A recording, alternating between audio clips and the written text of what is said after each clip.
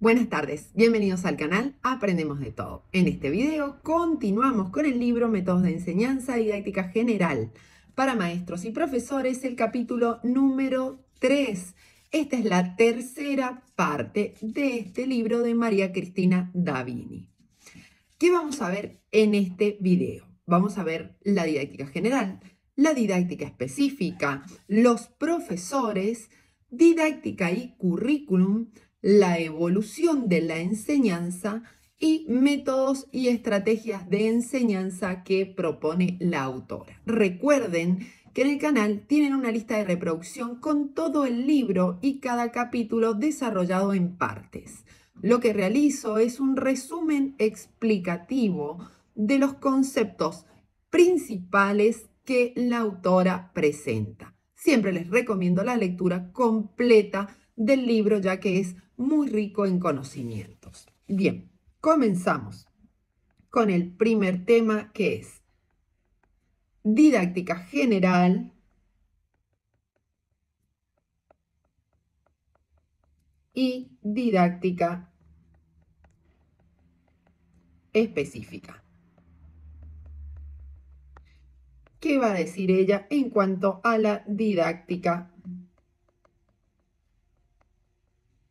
general?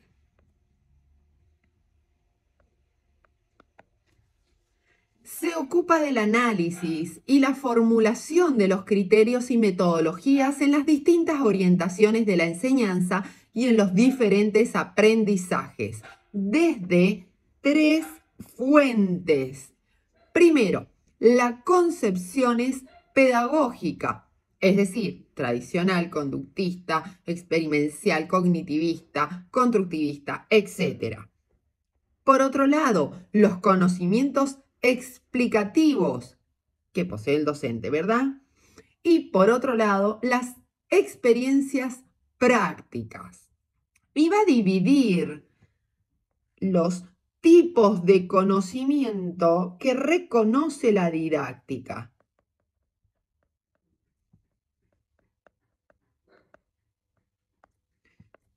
Dice, por un lado, los contenidos algorítmicos.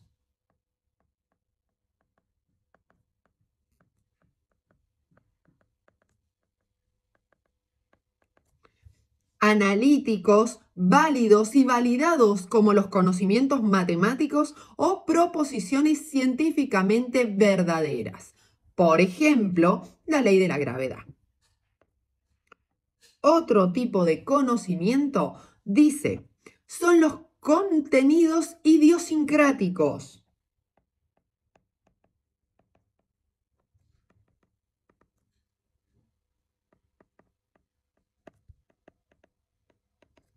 dependen de las condiciones, de la cultura o de las perspectivas de los sujetos.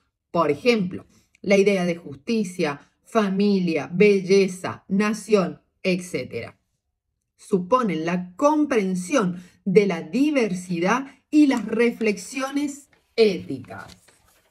Bien, por otro lado, vamos a ver a qué se refiere la autora con la didáctica específica.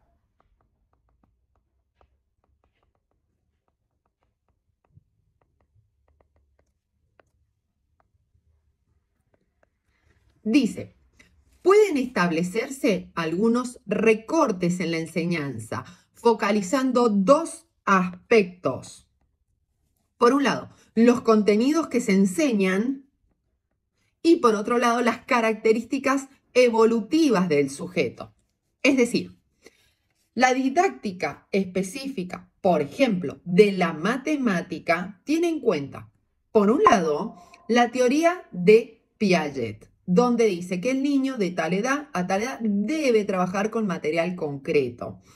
Tiene en cuenta también que si el contenido se puede construir, por ejemplo, si trabajo la multiplicación, lo puedo hacer desde la suma repetitiva o si trabajo la división desde la resta repetitiva, ¿sí? Bien. Por otro lado, ¿a qué se refiere con los profesores? Y acá nos va a dar ¿qué debe hacer el profesor? Dice, deberán contar con marcos amplios de enseñanza, propios de la didáctica general. Esos marcos amplios son las teorías del aprendizaje, las teorías de la enseñanza, ¿sí? Cómo aprende el niño y cómo le puedo enseñar. Bien, no solo el conocimiento y conceptos, sino también las cognitivas y prácticas que deben ser transmitidas. Es decir, se refiere a las habilidades, interpretar, comprender, organizar información, analizar, buscar, etc. Bien. Próximo tema, didáctica y currículum.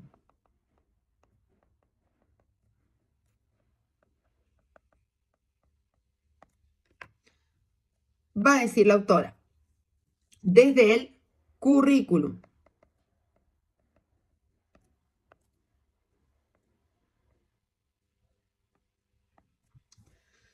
Abarca planes y programas que seleccionan y organizan la transmisión de conocimientos. Siempre desde lo simple a lo complejo, ¿verdad? Las condiciones organizativas que facilitan o dificultan la transmisión. El ambiente. Los recursos de enseñanza. Prácticas que desarrollan la enseñanza. Por ejemplo, el trabajo grupal. Bien. Próximo tema, la didáctica, pero la didáctica en cuanto a currículum.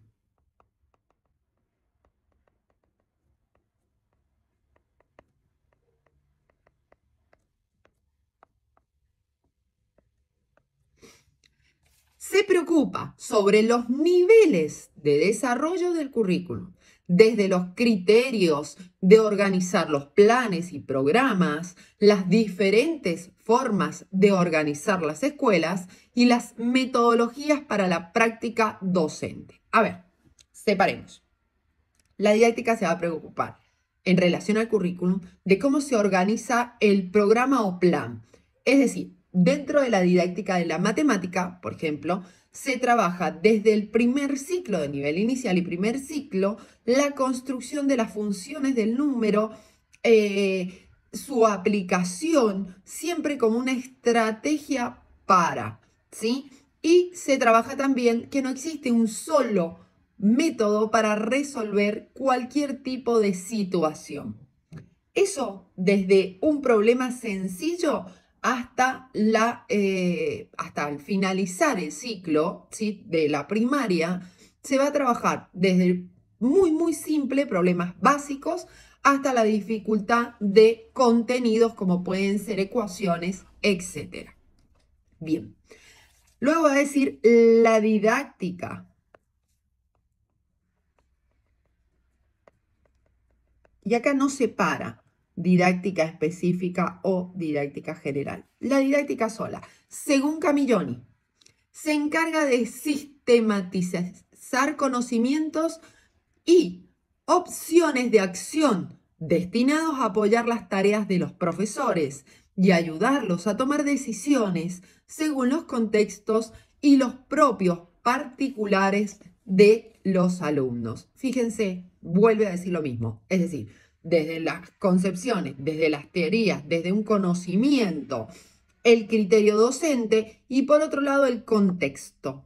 Mis alumnos, la, perdón, los alumnos, la institución y lo que poseo eh, a mano para trabajar, desde los recursos hasta esa eh, interacción que se va a producir. Bien, ahora vamos a ver los métodos y las orientaciones de la enseñanza, que es un apartado.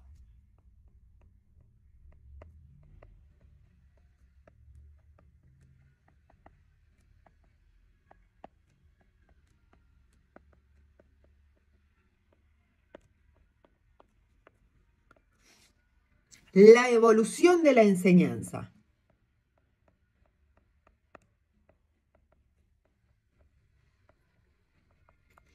Es decir, desde las primeras concepciones hasta la actualidad.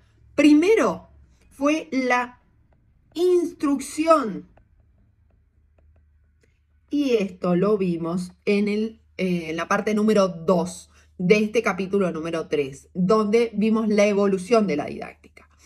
En la instrucción tenemos tradicional, transmisionista y sin tener en cuenta al sujeto de aprendizaje. Luego nace la revolución de la escuela nueva, que es la escuela activa.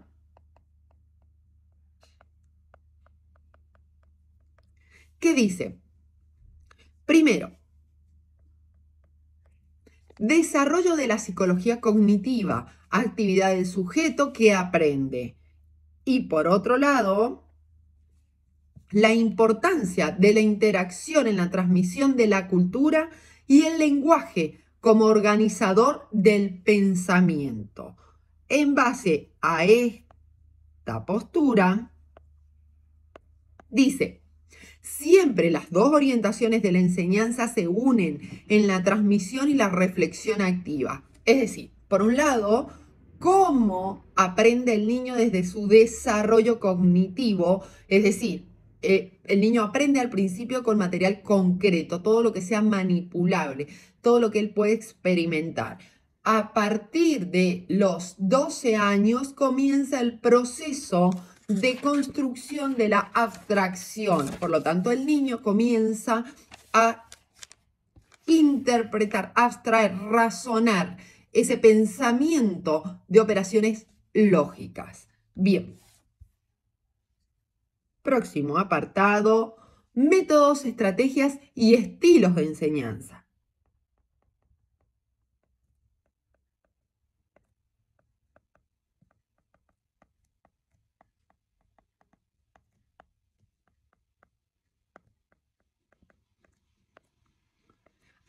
Con la nueva visión sobre la enseñanza, se reemplazó el término métodos por estrategias de enseñanza. Entonces, ¿por qué estrategias?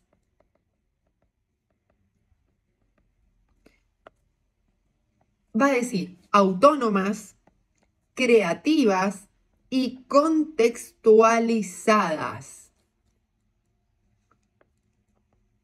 Los profesores son mediadores activos en la realización y la concreción de la enseñanza. Va cambiando el enfoque.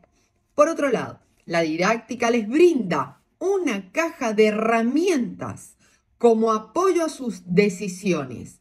Fíjense que no te da pasos, ni una estructura, ni un plan, no. No, no, una caja de herramientas donde yo voy a utilizar lo que necesite para enseñar. Y va a definir métodos y estrategias.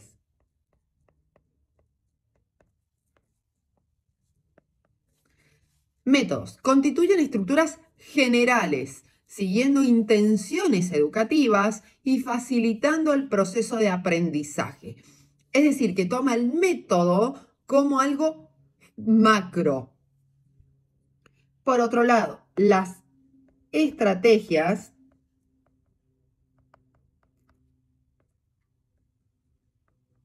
dice, son específicas para situaciones, contextos y sujetos determinados, seleccionando e integrando los medios adecuados a sus fines. Es decir, la estrategia sería más micro. Bien, si te sirvió el video, regálame un me gusta, suscríbete y comparte. Recuerda que puedes contactarnos si necesitas otro material o por clases online personalizadas.